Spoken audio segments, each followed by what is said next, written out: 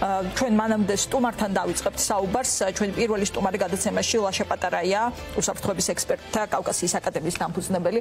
მოგესალმებით ლაშა, ძალიან დიდი მადლობა რომ ხართ ჩვენი სტუმარი ასეთ მძიმე დღეს. პირველში საინტერესო არის თავად პროცედურა, პროტოკოლი ნომერ პირველი საფრთხე მსოფლიოსი ტერორიზმის მუხლით არის გამოძიება დაწყებული ბრალდებული ტერორიზმშია.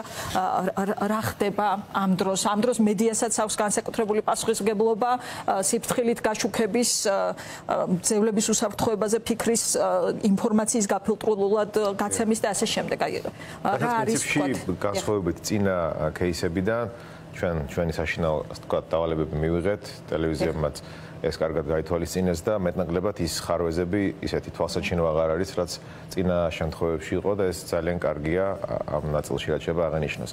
აქვე აღსანიშნავი არის ის, რომ ახლა მზეულებთა, ასე ვთქვათ, ოჯახის წევრები და მეგობრები ძალიან დაძაბულები არიან და ეს სიტყვა ტერორიზმი კიდევ უფრო ძაბავს, ამიტომ თანაგრძნობას უცხადებთ მათ და ვიტყვი იმას, რომ ყველა რესურსი არსებობს ამისათვის, რომ ეს მოგვარდეს და გადაწყდეს მშვიდობიანად და აქ ხელვარება, ეს მის რთულია, მაგრამ საჭიროა ამის კონტროლი, იმიტომ რომ ახლა მეტი სიფხიზლე და მეტი ასე თქვა ბატონო ნამდვილად მხნეობას ვუსურვებთ ამ ადამიანებს.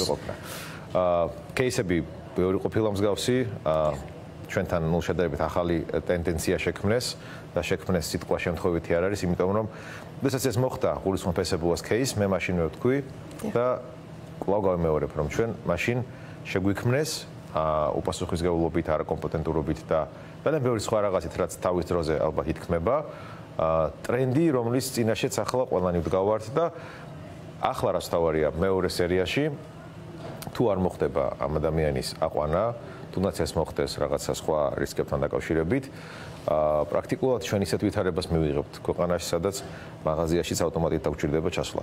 ტენდენცია და დინამიკა რაც გვაქვს აა სამწუხაროდ ეს ყველა პროგნოზი გამართლდა, რაც მაშინ ითქვა და კიდევ უფრო ხისტი და საში შეიძლება გახდეს. სისტემის კრიტიკისთვის იქნება კიდევ ვიდრე თავარია ნახეთ, კრიტიკა არის პასიური დამკვირვებლის როლი. ჩვენ ყველა ჯერზე ხვდებით ყველა ინციდენტზე, ყველა кейსზე და ვსაუბრობთ რეაქციულ რეჟიმში, რომ ახლა რა გავაკეთოთ, მაგრამ თუ არ ვიტყვით რა უნდა გაკეთებულიყო, ეს არ მოგცემს საშუალებას იმისას, რომ პრევენცია მოხდეს. აქ არავინ პოლიტიკური შეფასებისთვის არ არის, მით უმეტეს რომ ესე ბუას მოვლენაში და მოვლენის მიღმა იყო უკვე გარკვეული პოლიტიკური კონტექსტი და ამანაც მიიღო ის სახე, რითაც დღეს მოვიდა უკვე ახალი кейსები. პრობლემა არის შემდეგი. აა ვითარება დაძაბულია, ეს ადამიანი ჩემი სუბიექტური შეფასებით არ არის, ასე ვთქვათ, მდგრადი ფსიქიკის მატარებელი. აა ეს არ არის სამხედრო თვალსახად. თუმცა ნუ რა გაძლევთ ამ დასკვნის გაკეთების საშუალებასთან დეტალებით საერთოდ არსებობს ეგეთი ქვია ბიჰავიორული ანალიზი, ქცევითი ანალიზი. სამხედრო ძალიან გამოკვეთილია თავის ბევრ ფორმაციაში, რა მათ შორის გადაადგილებაში, ტაქტიკაში, საუბარში, აა სხვადასხვა ბანერებში, რომელიც ამ ეტაპზე არ წაკითხულა. ის რაც წაიკითხა, ეს არის საკმაოდ არამდგრადი ადამიანი, რომელიც ცოტა უფრო ართულებს ვითარებას. სკეპსრდის. რაც შეეხება სიტყვა ტერორიზმს, მიუხედავად იმისა, ნახეთ, შესაძლო ტერორისტული განვითარებაზეა საუბარი და არა ის, რომ ახლა ეს არის ტერორიზმი, იმიტომ რომ ტერორიზმს არ აქვს ხოლმე როგორც წესი კომერციული და მატერიალური ინტერესი არ არის. ტერორიზმი ეს არის იდეოლოგიურ საწყისებზე, ოდესაც რაღაცას აპროტესტებენ და რაღაცა ესეთი სოციალური საზოგადოებრივი მომენტები ჩდება. აქ საუბარია პირდაპირ ძარცვა ყაჩაღობაზე, მუხარაზე, მზეველთა აყვანაზე. თუ ამას მე მეცემა ეს კვალიფიკაცია, ну, იმედოვნებ რომ არ დაგჭირდება ეს ამ კუთხით განვითარება, მაგრამ ნახეთ იარაღის ნაწილში ანუ F1 ყუმბარა არის მსხვერვადია რადიუსი 200 მეტრი გასთვალისწინებელია საბათო სპეცსამსახურებები მაგას სწავლობენ ადგილზე რა საფრთხებს ელოდებიან ის რაც და დაამონტაჟა ასე ვთქვათ კარებებზე ამ ნაწილთან ცოტა скеპტიკურად ვარ, იმიტომ რომ იქ რამოდენიმე ლედ განათებები ცოტა დამაბნეველია და აშკარაა რომ ცდილობს ფსიქოლოგიური ეფექტის გამოყენებას, რასაც პრინციპში გარკვეულწილად წარმატებით გაუმკლავდა ფსიქოლოგიური პროცესვა მოიპოვა. აა რაც შეეხება ლაზერულ ტექნოლოგიას იქ რომ შეიძლება კარებების გაღებაზე მოქმედებდეს ეს არ მგონია, იმიტომ რომ მაგას საკმაოდ დიდი დრო ჭირდება რომ მოხდეს ამის კალიბრაცია და ამაგრება და ზუსტი ასე ვთქვათ ინსტალაცია ამ მოწყობილობის. თვითონ კაფსულა არ ჩანს, მაგრამ ნუ სავარაუდოდ მოცულობიდან გამომდინარე შეიძლება იყოს შენიღბული კაფსულა შიგნით და დეტონაცია შეიძლება გაკეთდეს ნებისმიერი სხვა საშუალებებით, ხელის პულტით, ტელეფონით, რადიო მოწყობილობით, სავარაუდოდ ეხლა იქ უმჯობესია. მე გავიგე რომ არის რაღაცა Facebook სტრიმი გააკეთა ვიღაცამ, live chart-ვა და ასე შემდეგ. ყველაზე კარგია რომ მოხდეს რადიო, ასე ვთქვათ, დუმილი შენარჩუნება, მეტი რადიო სიხშირეები, იმიტომ რომ ჩვენ არ ვიცით, ხა იქ თქვა რომ ლაზერზე არის ტრიგერი რეალურად. ასაფეთქებლის, მაგრამ შეიძლება ლაზერზე არ არის და რადიოსიხშირეზე არის, ან რაღაცა მოიწვიოს, ასე თქო, გამოიწვიოს მისი აქტივაცია, ამიტომ დეტონაციასგან, ასე ვთქვათ, პრევენცია რომ მოხდეს, მნიშვნელოვანია ამ რადიოსიხშირეების გაფუტრვა და მაქსიმალურად იზოლაცია ამ სივრცის ზედმეტი რაღაცეებისგან. დანარჩენი ქცევითი ანალიზით შეიძლება თქვა, რომ არამდგრადია, შეიძლება რთული იყოს მისი პროგნოზირება. ამ დროს პრაქტიკა არის და ალბათ შესაბამისი ტრენინგის გავლილი აქვს სამართალდამცავებს, რომლებიც ამას უშუალოდ ახლა კურირებენ. ეს არის მძევლთა მოლაპარაკების ნაწილი, სადაც შედის ის, რომ სტრესში არ უნდა იყოს, სტრესის დონე უნდა დაიწიოს. მნიშვნელოვანი ინდიკატორია მისი სტრესის ის, რომ მძევლები საკმაოდ ემოციურები არიან. მათ შორის იქ პანიკური შეტევები და სხვადასხვა ძიმე ფსიქოლოგიური ფაქტორები გამოვლინდა ადამიანებში და ეს ნიშნავს იმას, რომ რაციონალურად არ მოქმედებს, შეიძლება რაღაც ისეთი კომუნიკაცია აქვს ჯინით, რომელიც ამ ყველაფერს ამძიმებს. ეს ნიშნავს, რომ დაბნეულია, გადაწევა ტაიმინგების, ანუ დასმული ულტიმატუმების მნიშვნელოვანი უპირატესობა არის უსაფრთხოების სამსახურების მხარეს. ეხლა თავარი არის, რა თქმა უნდა, მძევლების უსაფრთხოება, მაგრამ ვისაუბროთ გრძელვადიან პერსპექტივაში. აა ძალიან მნიშვნელოვანია, რომ აქცენტი გაკეთდეს ამ ადამიანის აყვანაზე. ცოცხლად თუ როგორ მნიშვნელობა არ აქვს, ეს ადამიანი თუ არ იქნა ახლა აყვანილი, ეს იქნება გაყვანის პროცესში, მოლაპარაკების პროცესში თუ როგორ ჩვენ მივიღებთ ისეთ კატასტროფულ სიტუაციას, რომელზეც აი წინა პროგნოზები და გაფრთხილებები არაფერი იყო მასთან შედარებით. სხვა შორის ფაქტს ვიტყვი უბრალოდ ნეტგაზეთმა გამოაქვეყნა ბადრიესებუას შემდეგ ბანკზე თავდასხმის 10 შემთხვევა თარიღებით არის ჩამოთვლილი. მანამდეც იყო შემთხვევები. როგორც ამოვიდა ეს ჩვენ მსხვილი თავდასხმები ვახსენეთ, ბევრი შემთხვევა აქვს დათვლილი ამ გამოცემას. ბოლო 2022 წლის 10 ივნისს საქართველოს ბანკის ფილიალზე იქაც აქაც იარაღის დინამიკა განვითარდა სხვადასხვა მასშტაბის ძევლების გარეშე ზოგადად მოლარესთან მუქართ, მაგრამ ბანკზე თავდასხმების სტატისტიკა უსაფრთხოების ვექტორები რო ავიღოთ ხო კრიმინალის კრიმინალის პრევენციაში ერთ-ერთი ყველაზე რომანტიზებული დანაშაული არის ბანკის ძარცვა, ფილმები, ციგნები და ასე შემდეგ, ხო? და საკმაოდ ტრენდული გახდა კიდევ უფრო ჩვენთან. აქამდეც არაერთი შემთხვევა იყო 90-იანებში მოყოლებული, მაგრამ ეს იყო ძირითადად კონკრეტულად უფრო ესეთი გათვლილი, გააზრებული ინკასაციებზე თავდასხმები იყო ძირითადად მცირე თანხაზე შედარებით, მაგრამ ოდესაც ჩვენ ხედავთ, რომ უკვე ტრენდში წამოვიდა მოთხოვნა ესეთი მასშტაბური რეზონანსული ტიპის გამოსვლები, თუ აქ ძალიან მაღალი რისკია.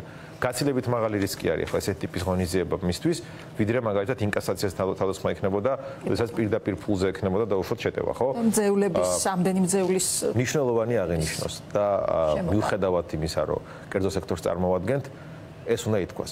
საქართველოს ძალიან დიდი ხანი არსებობს ამ ყველაფრის სერვისები, კონსალტინგი და ტრენინგი. ბანკი საკმაოდ სკრუპულოზურად უდგება, როდესაც მოხმარებელი მიმართავს მას მაგალითად საკრედიტო რისკების შეფასებაზე და მისცეს თუ არა. და ძალიან უპასუხისგებლობა არის ბოლო პერიოდში დემონსტრირებული იმ ნაწილში, რომ ისინი არასათანადოდ აფასებენ რისკებს, როდესაც ადამიანები მათ ფილიალებში მიდიან, ხედავთ რამდენი შემთხვევა იყო და ამის მიუხედავად გრძელდება ისევ და ისევ შეტევები ამ ბანკებზე და ფაქტია რომ უსაფრთხოების ნაწილში არანაირი გაუმჯობესება არ არის. ანუ ზოგჯერ შეიძლება რეკლამისა და მარკეტინგის გარდა ასევე მოხდეს უსაფრთხოებაში ინვესტიცია და უკვე მე მგონი სათანადოდ გაიზარდა ქართული ბიზნესის და ბიზნეს IQ-ს იმ ნაწილში რომ უსაფრთხოებას მივაქციოთ ყურადღება და ვთქვათ რომ უსაფრთხოება არ არის მხოლოდ სამართალდამცავების პასუხისგებლობა მით უმეტეს მხოლოდ პოლიტიკოსების და მოქალაქეების. მოქალაქემ უნდა იგრძნოს თავი უსაფრთხოდ. ამისათვის ბანკსაც მოეთხოვება და რატომ ამოფ ახლა ამას? კონკრეტულად ამ შემთხვევაზე გულისხმობ, იმიტომ რომ ამ ადამიანს შესწავლილი აქვს ეს შენობა. დიდი ალბათობით ეს ადამიანი არის ადგილობრივი, გამომდინარე რაღაც ქცევითი მახასიათებლებიდან, რომლებიც დაუფიქსირეთ. და შესაბამისად ეს მინიმუმ რამდენიმეჯერ მივიდა და ბანკში რო ყოფილიყო პოლიტიკა, უსაფრთხოების სამსახური მზად მაგისტრი შესაბამისი ტრენინგი, რისკების შეფასება და პროცედურები, მათ ეცოდინებოდათ რომ შესწავლისას, ანუ მსგავსი ღონისძიების დაგეგმვისას კრიმინალი ყოველთვის ხო რაღაც ნაბიჯებს დგამს, რომელიც გამოიხატება და ამის ინდიკაციას ახდენს შესაბამის სამსახური და გადაცემს უკვე სპეცსამსახურს. იმიტომ რომ შესწავლის ეტაპზე მისი დაჭერა და გამორენა უკვე იყო შესაძლებელი და ამის პრევენცია. დასაგებელია შაი მის ქცევითი ანალიზი იყო საინტერესო და მოთხოვნები ახსენეთ. მოთხოვნები რას ამბობს ამ შემთხვევაში? თანხასთან ერთად ვერტფრენი რუსეთის დროშა იქ ანკესი ასე შემდეგ. აი ეს შტრიხები რას ამბობს ისევ ქცევითი ანალიზი მნიშვნელოვანი იყო ის მომენტი რომ მან მან დააფიქსირა კონკრეტული ულტიმატუმი, კონკრეტული ვადა და ამის და მიუხედავად ჩვენ და სასიკეთო და საბედნიეროდ მან არ შეასრულა ეს ვალდებულება. ეს ნიშნავს იმას, რომ ელასტიური ამხრივ მოქნილია და მეტი სივრცე აქვს სპეცსამსახურს ურთიერთობაში და კომუნიკაციაში და გავლენის მოსახდენად. რაც შეეხება დამაბნეველ მოთხოვნებს, რომელიც არის დროშა და ანკესი, აი ერთადერთი რაც გვიტოვებს უფლებას, რომ დავტოვოთ პოტენციურად ის რომ შეიძლება ტერორისტული мотиваციაც ქონდეს ამ ადამიანს, იმიტომ რომ კიდევ ერთხელ რაციონალური ტიპი არ ჩანს და შესაბამისად შეიძლება ეს იყოს რადიკალიზებული ადამიანი, არ ვიცი, შეიძლება იყოს რელიგიური ფუნდამენტალიზმი, შეიძლება იყოს გაბოროტება, რევანში, სოციალური პროტესტი, არ ვიცი, ეს გამოვლინდება უკვე მოლენის განვითარების პარალელურად, როდესაც გაყვანის ნაწილი იქნება სავარაუდოდ.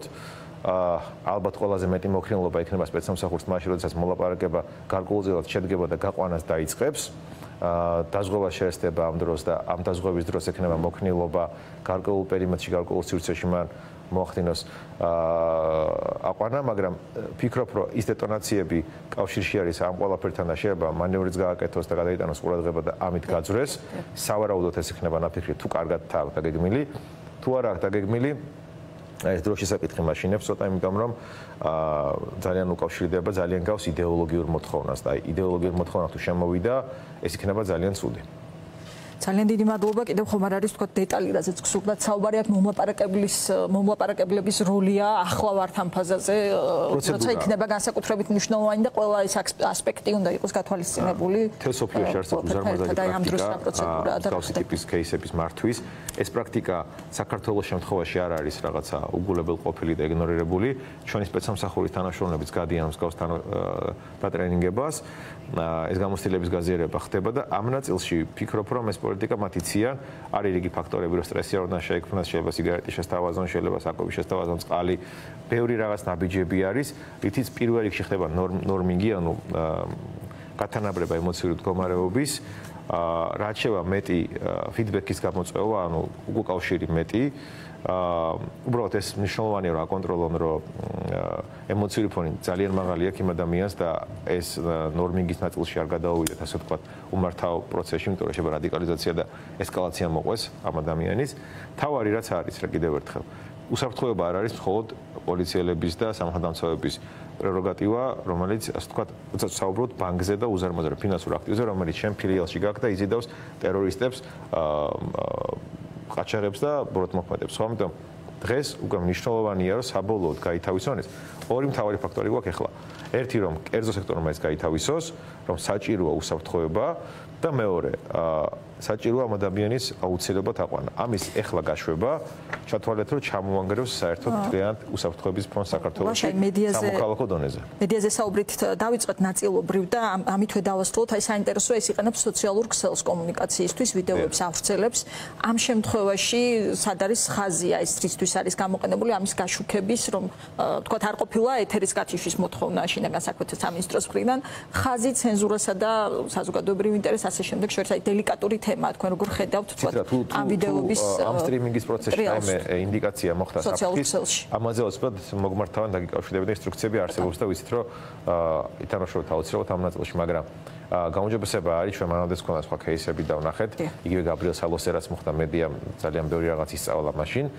აა ესეთი ხარვეზები აღარ არის და ის რომ სოციალურ მედიას იყენებს გასავრცელებლად ეს ერთგვარი დაუცველობის განცდაც შეიძლება მივაწეროთ ამას და ასევე შეიძლება მივაწეროთ კიდევ ერთხელ რადიკალურ ანუ იმ ტერორისტულ მოტივებს რომელიც ჯერ მხოლოდ ორი ინდიკატორი ჩანს იმედი მაქვს რომ მეტი აღარ გამოჩნდება ერთი ეს არის მოთხოვნა და მეორე ფორმა კომუნიკაციის.